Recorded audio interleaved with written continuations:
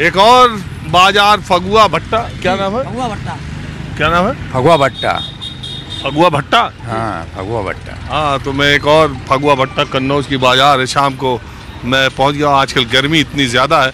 बहरहाल उत्तर प्रदेश की सियासत में एक बड़ा चेंज और आ रहा है कि पहले दो चरणों के मतदान के समय बीएसपी ने जो कैंडिडेट्स उतारे उसने इंडिया और एनडीए गठबंधन का घोड़ा भाग गड़बड़ कर दिया।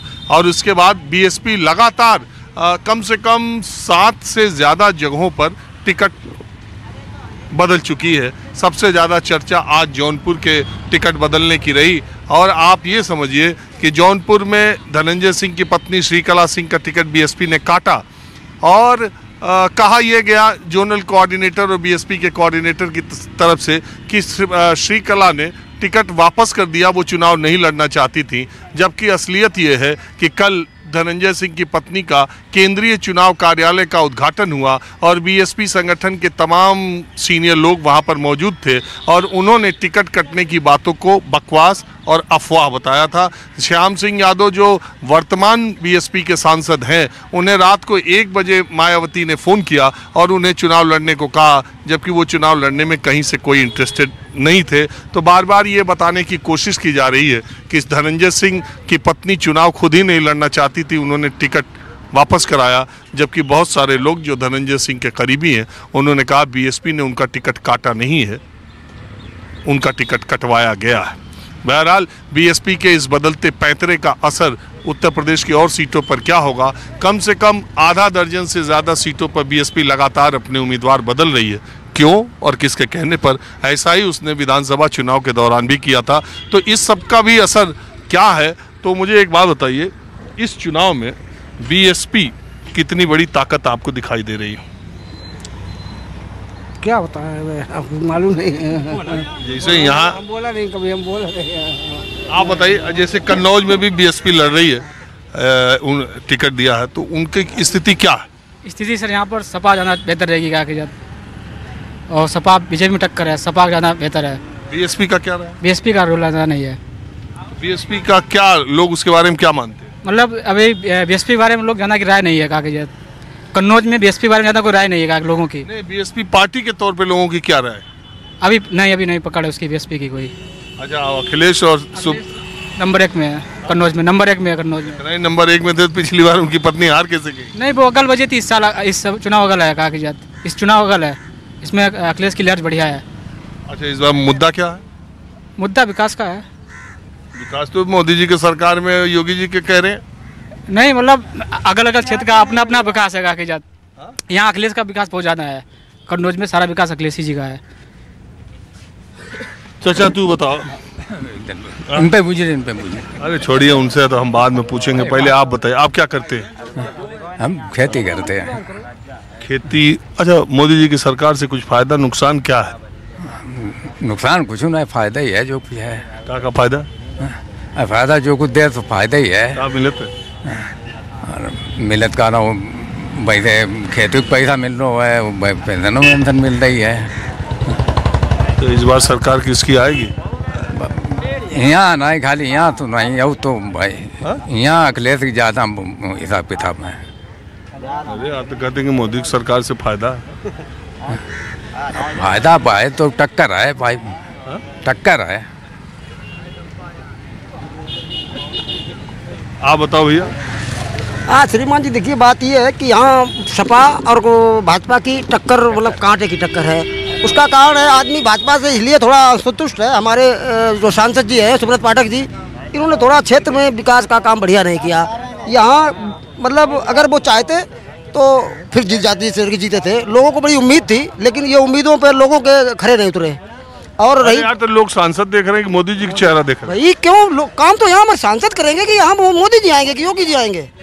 भाई काम तो यहाँ में सांसद जी से करवाना है और सांसद जी दिखाई नहीं पड़ते हैं। कहाँ आए कहाँ जाते हैं क्या करते हैं? हम लोग हम कट्टर भाजपाई हैं लेकिन लेकिन है ना जो उम्मीदें थी पाठक जी से वो उम्मीदों पर खड़े नहीं उतर पाए नहीं। लग रहा है उनका टिकट बदल जाता तो स्थिति ठीक रहती? जीत जाते बिल्कुल भाजपा जीती सौ परसेंट जीतती। और इस बार अभी शंका है? शंका तो साहब है बहुत बड़ी शंका है क्यों नहीं? तो भाजपा के? नहीं बिल्कुल मैं कह रहा हूँ मैं भाजपा का था लेकिन अब नहीं हूँ। वोट तो नहीं देंगे ये खुलेआम कह रहे हैं मैं भाजपा को वोट नहीं दूँगा। भाजपा को वोट विधानसभा में फिर देंगे लेकिन सिर्फ़ पाठक जी की वजह से वोट नहीं मिलेगा इनको। उन्होंने यहाँ क्षेत्र में कोई विकास नहीं किया कोई दिखाई नहीं पड़े। बात ये है सर कोई बात नहीं भाजपा रही बात मोदी जी की और योगी जी की बहुत बढ़िया काम है विकास भी खूब हुए। और हमें हम किसान हैं। किसान सम्मान निधि मिल रही। ठीक? पेंशन मिल रहा लोगों को गरीब आदमी को आवास भी मिले। और भी जो भी होना था वो हुआ। अच्छा है। लेकिन सबसे बड़ी दिक्कत तो यही है बस। केवल सांसद जी से लोग रुष्ट हैं और कोई बात नहीं। योगी जी और मोदी जी बढ़िया है। विकास बढ़िया है सब कुछ बढ़िया है। अरे तुम तो फटकाई डाल लियो कमल के फूल का। अरे पर मजबूरी था हमने वोट ना डालते जाने बाद जूते लगे वोट वहाँ पर वही में हम बीजेपी में रहा पर वोट मजबूरी है मेरी। ज़िंदगी में डाले हमेशा डाले हमने। ऐसा मजबूरी का हमेशा डाले हमने हमेशा डाले हमने। अब डालेंगे। शुरू से भाजपा। अरे ज़िंदगी में डाले पूरी उम्र में डाले हमने। एक बात बताओ लोग कहते हैं अटल जी की आडवाणी जी की भाजपा दूसरी थी और मोदी उसके पहले भाजपा भी अटल बिहारी वाजपेयी थी तब उसके पहले डाल रहे हम। हमारे पीछे हाँ पीछे विधायक बनवाई डालते तभी उसी में वोट डाले हमने। दीनदयाल जी के जमाने से जब से चालीस साल उम्र मेरी भाई तब से बीजेपी वोट दिया कितनी उम्र है? मेरी उम्र पैंसठ साल। पैंसठ? हाँ। चालीस साल से वोट डालते बीजेपी। चालीस साल से? हाँ। हाँ तो अटल नहीं अस्सी में तो बनी गई थी बीजेपी। नहीं थी यार। क्या भाजपा का जनसंघ पार्टी नहीं थी? जनसंघ पार्टी थी? जनसंघ सतहत्तर में खत्म हो गई नहीं हाँ जनसंघ पार्टी में। हाँ जन भारतीय जनता जनसंघ पार्टी थी। और जनता को हमने बीजेपी दो को झूठ बोल भी बात ही नहीं बात। ठीक है यार आपने जहाँ हाँ, जिसको देना मतलब हाँ बताओ भैया। भैया हम लोग सपावादी हैं खुले क्या नाम है आप? जगदीश। आगे नहीं बोल रहे हो? नहीं है भैया। अरे जगदीश के आगे? जगदीश वर्मा। वर्मा जी लोग यादव अ, वर्मा हमें लोगों को केवल विकास चाहिए भैया बस। यहाँ तो वर्मा वोटर बहुत है। हाँ वर्मा है ये। पिछली बार वर्मा सपा को धोखा दे दिए रहे। हाँ दे दिया था। नहीं दिया था सब वर्मा जी लोगों ने। नहीं दिया नहीं था किसी ने नहीं दिया था। सब बीजेपी में गया था। वर्मा जी लोग हाँ। तो अब कहा ऐसा वर्मा जी अब ये है कि विकास नहीं हो रहा यहाँ कुछ। बस खाली सुप्रक पाठक से है नाराज़ और कोई चीज़ नहीं। बस यही है कमी। और बीजेपी बहुत अच्छी अब वोट दी बीजेपी दी। अब की बार जब चुनाव है बीजेपी दी वोट। लेकिन ये बात अब तो खतरा दिख रहा सर जी ये हमारे प्रधान जी हैं सपा नेता कहा के जाते हाँ। भाई सपा के नेता? है ब्लॉक अध्यक्ष हैं कहा के जाते सपा के समाजवादी क्या नाम है आपका? रंजीत सिंह कुशवाहा। कुशवाहा जी एक बात बताओ अब की सपा जो है कुछ राजनीतिक समीकरण इधर उधर की है? सब कुर्मी कुशवाहा ये सबको जोड़ने का काम इस बार सोशल इंजीनियरिंग अखिलेश यादव ने किया? माननीय राष्ट्रीय अध्यक्ष जी ने हर वर्ग को जोड़ के रखा है और उनका जो ये इस चुनाव में कोशिश की। हाँ। पीडीए का जो ये नारा दिया है इन्होंने ये बहुत अच्छा काम कर रहा है। हर वर्ग के लोग जुड़ रहे हैं और हर वर्ग के वोट लोग दे रहे हैं। हाँ जी आप बताइए। बोलिए क्या नाम है आपका? अरे हमारा नाम संतराम लोधी। बोलिए संत राम लोधी जी क्या आप बोलना चाहते हैं कन्नौज की लड़ाई के बारे में उत्तर प्रदेश के बारे में बसपा की जो रणनीति बदल रही है उसके बारे में? बसपा की रणनीति है बसपा तो अपने वोट रोक रही इसीलिए फ़ायदा हो हो रहा समाजवादी पार्टी का।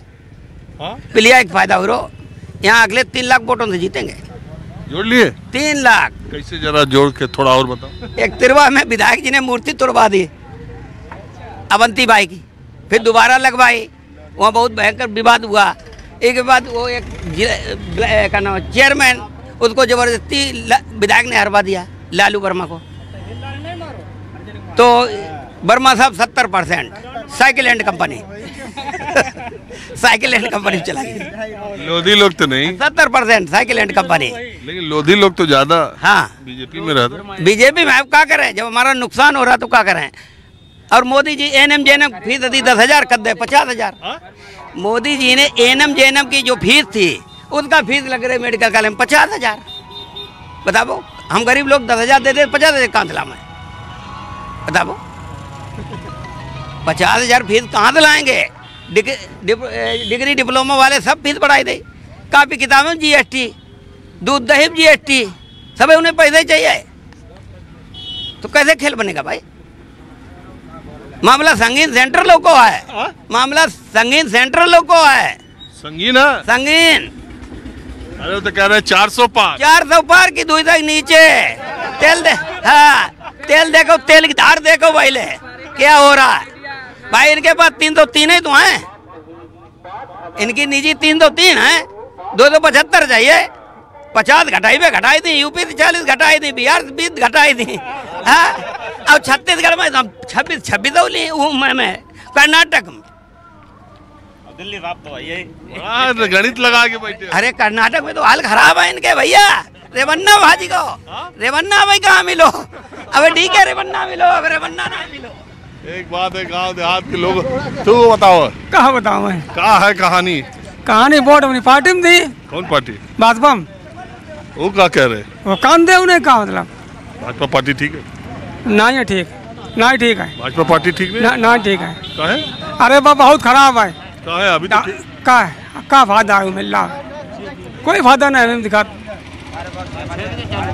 कोठा दे एक किलो मका दे दो किलो बाजरा दे और जुंडी दे चावल दे का करो जी को सम्मान नहीं तो केहू को मिलते केहू नहीं मिलते दौड़ो परेशान हो जाते कौन जीतेगा यहाँ? जीते साइकिल चलिए ठीक है मैं जरा कुछ और लोगों से बात करता हूँ।